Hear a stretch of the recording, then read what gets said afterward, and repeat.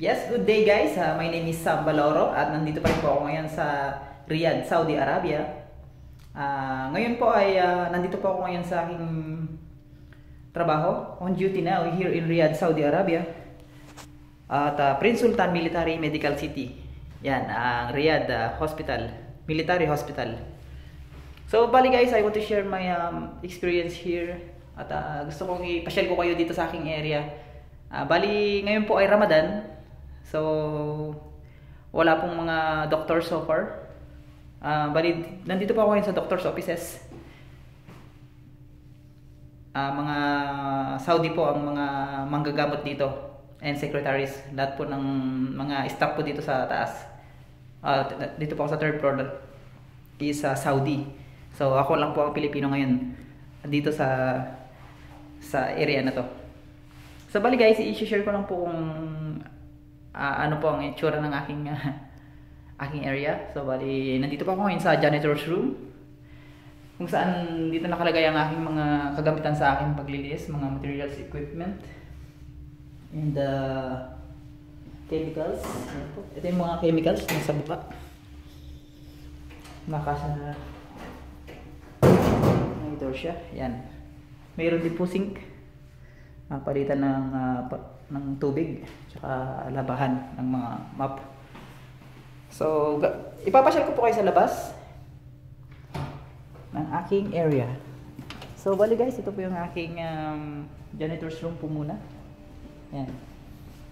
Ito po ang aming best friend po dito sa area dahil siya po ang lagi kong kasama sa paglilinis. Yan. So guys, bali um, ano po na, Tuesday morning, Bali, Ramadan po ngayon po dito sa Saudi. Kaya wala po pong mga mga doctors. Bali, nagbago po ang kanilang may pagbabago po sa kanilang pagpasok. Uh, ah, 10 o'clock ng umaga hanggang 3 3 o'clock ng hapon. Yun lang po ang pasok nila. So, bali alas 8 pasado pa lang po ngayon. Ako pa lang po ang tao dito sa area ko. Yan. Yan po yung doctor's offices. So, ikot ko lang po kayo. Pasyal pa siya tayo. Yan.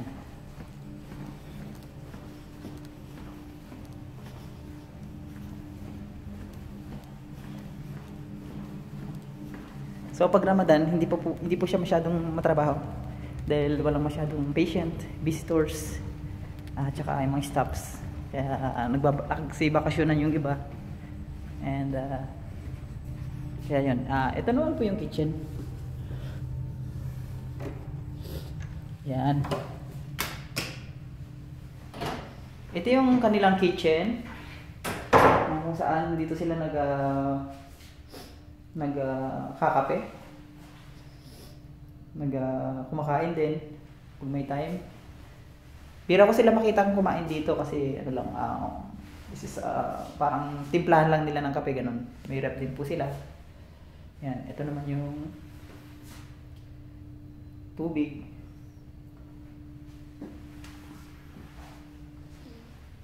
Tapos lagayan po ng baso. Yung mga lagayan ng mga baso. Bawat mga doctors po, ayan, may sarili-sarili sila ng baso. And dyan yung po yung mga takure uh, thermos na timplahan. Diyan nila ini-stack yung yung coffee nila or tea. O kung tawagin nila dito naman, Saudi um, coffee nila is gawa. Yan. Yan pa rin po si Sam, ang inyong lingkod.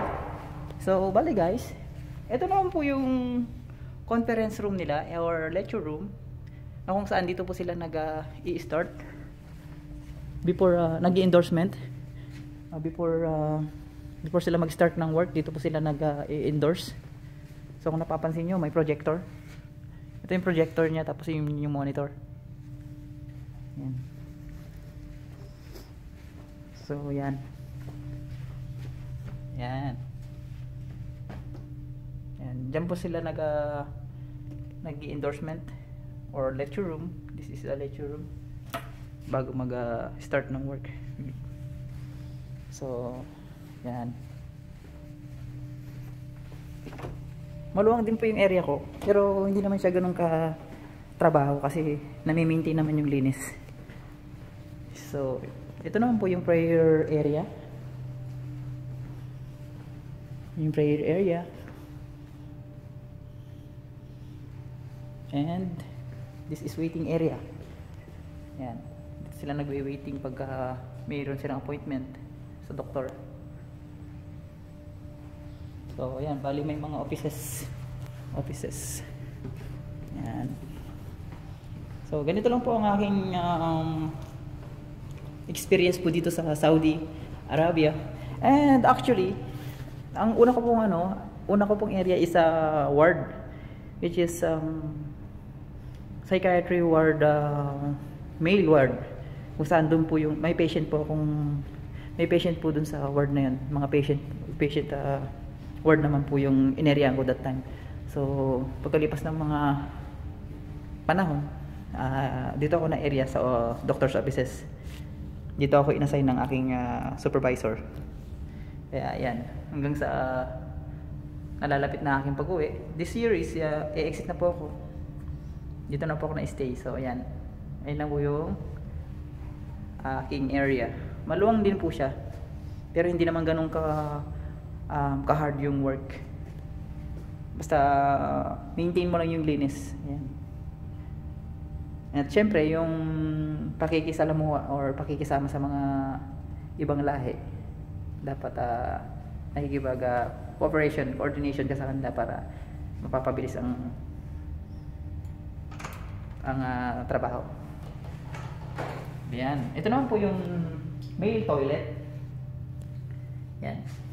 Yan yung male toilet.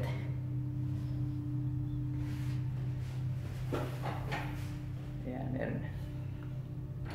Yan. Pare, same lang din po siya ng itsura sa lala, sa babae, sa female, sa kabilang side, babae. Yan, kung ano nakikita nyo. Ganyan din po yung toilet dun po sa female side. Yan. Yan. And this is quality board psychiatry. Kung saan nandyan yung hospital vision and mission. Scope of service. Hospital priority for measure. Unit KPI. Yan. Hospital priority for improvement. Department KPI. Yan. Nandiyan po lahat ng mga guideline. Ayan. So, balik tayo sa work.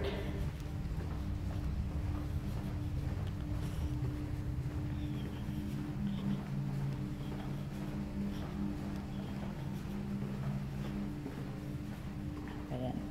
Yan. So, bali guys, uh, past 8 pa lang po ng umaga rito sa sa uh, Riyadh, Saudi. And 10 pa po uh, papasok ang mga doctor's offices. And uh, papasilip ko po yung isang itsura ng offices po dito. Yan, so ito, nandito po ako sa loob ng office. Yan lang po yung itsura ng office. May isang computer dito, which is dapat bawat uh, table dapat may uh, may computer but uh, nagdadala sila ng sarili nilang laptop. Dinadala na lang nila. Yeah, so that's why. Yan. Yan. Yan po ang doctor's offices. And sa labas, may bintana. Matatanaw mo yung sa labas. And po, dito po ako sa third floor. So nakikita nyo yung labas ng hospital. Yun. So kung natatanaw nyo yung hindi ko nakikita. Nakikita ba rito? Yan, ewan ko kung natatanaw niyo po yung kung nasisilaw po kasi ako eh. Yan, yung mga yung kabilang building doon sa